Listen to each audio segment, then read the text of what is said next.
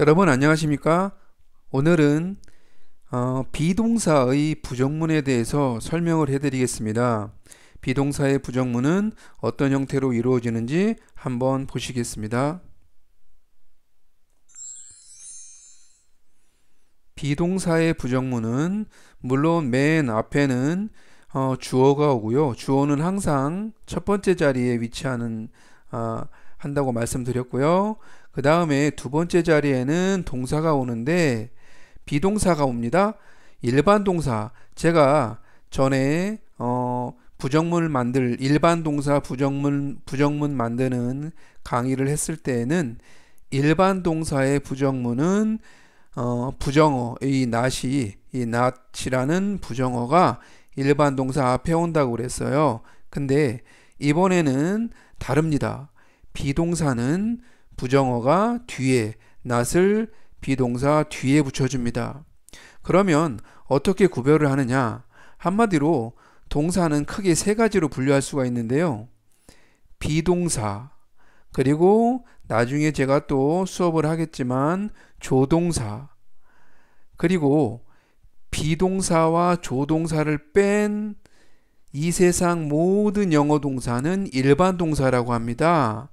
그러니까 일반 동사가 범위가 제일 크고요. be동사, 조동사. 그래서 동사에 이름이 있다. be, be동사. 조동사도 조라는 이름이 있다. 그래서 be동사, 조동사는 이름이 있는 동사이기 때문에 어, 힘이 셉니다. 비동사나 조동사는 동사에 이름 있잖아요. 비라는 비동사나 조동사는 힘이 세기 때문에 이 부정어 not이 뒤로 밀려납니다. 그렇게 그렇게 어, 알면은 어, 요령이 되겠죠. 그래서 일반 동사, 비동사나 조동사를 뺀 나머지 일반 동사는 힘이 없기 때문에 이 부정어가 앞에 오고요. 비동사나 조동사는 힘이 있는 이름이 있는 동사기 때문에 부정어의 not이 부정어가 뒤에 온다, 뒤로 밀린다. 이렇게 요령 있게 생각하시면 되겠습니다. 그래서 I 나는 am이다. 제가 비동사는 비동사 편에서 어, 강의를 했을 때 비동사는 뜻이 뭐뭐이다 있다 두 가지 두 가지 뜻이 있다고 했습니다. 비동사는 이다 있다. 이때 I 나는 뭐뭐이다인데 뒤에 not이 붙어서 아닌 그래서 나는 뭐뭐가 아니다 이렇게 해석을 하시면 되겠습니다.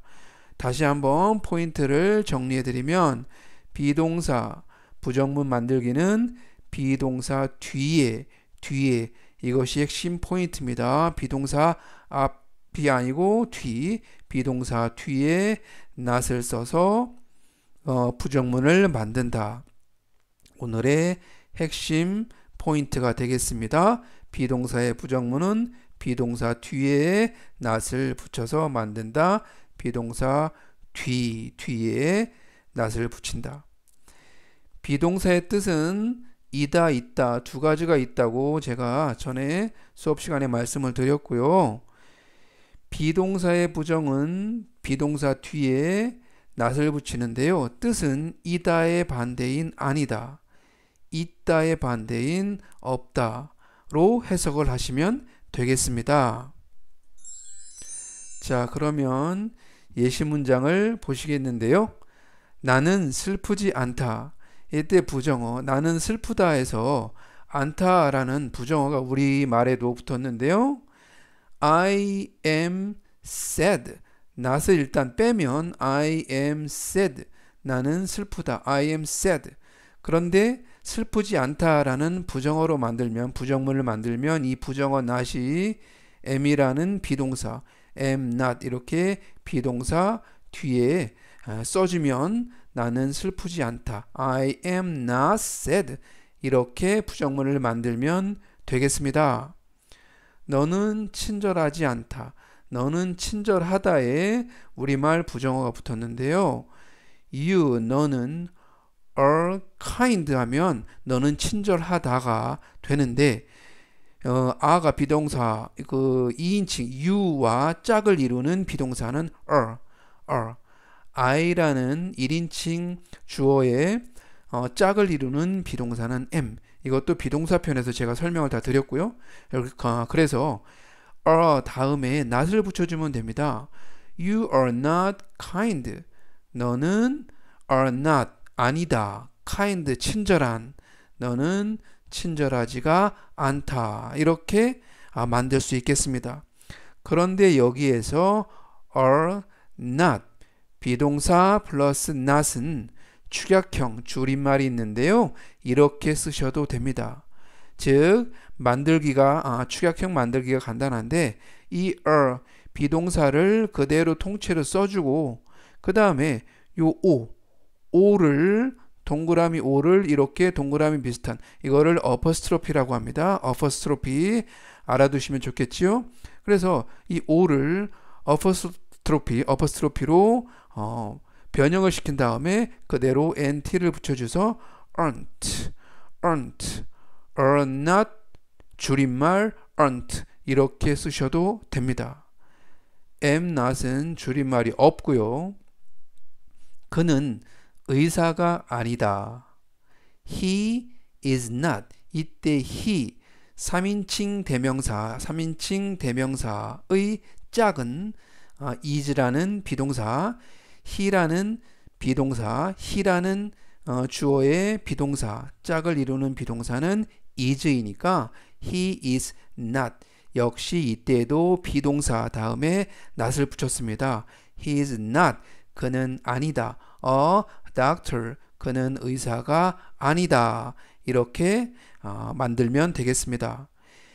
이때도 is not의 줄임말이 있는데요. 축약형이 있는데요. 그대로 is를 써주고 n을 써주고 어퍼스트로피 o를 어퍼스트로피로 변형시키고 t를 붙여주면 isn't, is not, isn't 이렇게 어, 줄여서 써도 상관이 없습니다. 그들은 똑똑하지 않다. 부정어 않다가 붙었고요. they 그들은 3인칭 아, 복수에 해당하는 비동사, 3인칭 복수 인칭 대명사, 그들은 이거에 해당되는 비동사는 are. 그래서 are not.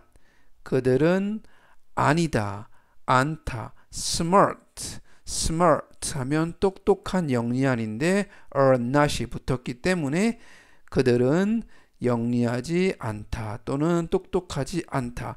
비동사 뒤에 낫을 붙여서 어, 부정문을 만들었습니다. 아빠는 집에 없다. Dad 3인칭을 나타내는 일반 명사 그거에 해당되는 비동사는 is이기 때문에 3인칭 명사에 해당되는 제가 3인칭은 I 1인칭, U 2인칭을 뺀 나머지 이 세상 모든 어, 주어가 다 3인칭이라고 했습니다. 3인칭에 해당되는 주어, 3인칭 주어에 해당되는 비동사는 is라고 했고요. 제가 전 수업 시간에 is, dad is not 이때도 비동사 뒤에 not을 붙였습니다. 아빠는 is not 그런데 이때 in이라는 전치사가 붙었습니다. 그때는 비동사 뒤에 전치사가 붙으면 비동사는 이다가 아니라 있다로 해석을 하고요. 아빠는 is not 없다, 있지 않다, 없다. in the house 어디에 집 안에 집에 없다라고 해석을 하시면 되겠습니다. Jane, Jane은 방에 없다인데요. 이때도 주어 Jane 있고요. 제인도 3인칭 사람 이름 3인칭을 나타내기 때문에 be동사는 is고요. be동사 다음에 not을 붙여서 is not, is not. Jane is not. Jane은 없다 이렇게 되고요. in the room 방 안에 Jane is not in the room. Jane은 없다 in the room 방 안에 없다. 이렇게 영작을 하시면 되겠습니다. 자, 오늘 핵심 포인트 다시 한번 정리를 해드리면요. 비동사의 부정문 만들기는 비동사 뒤에 앞이 아니라 뒤에 낫을 붙여서 만들면 되겠습니다. 자, 오늘은 비동사 의 부정문 만들기에 대해서 설명을 해드렸고요. 다음 시간에 또 뵙겠습니다. 감사합니다.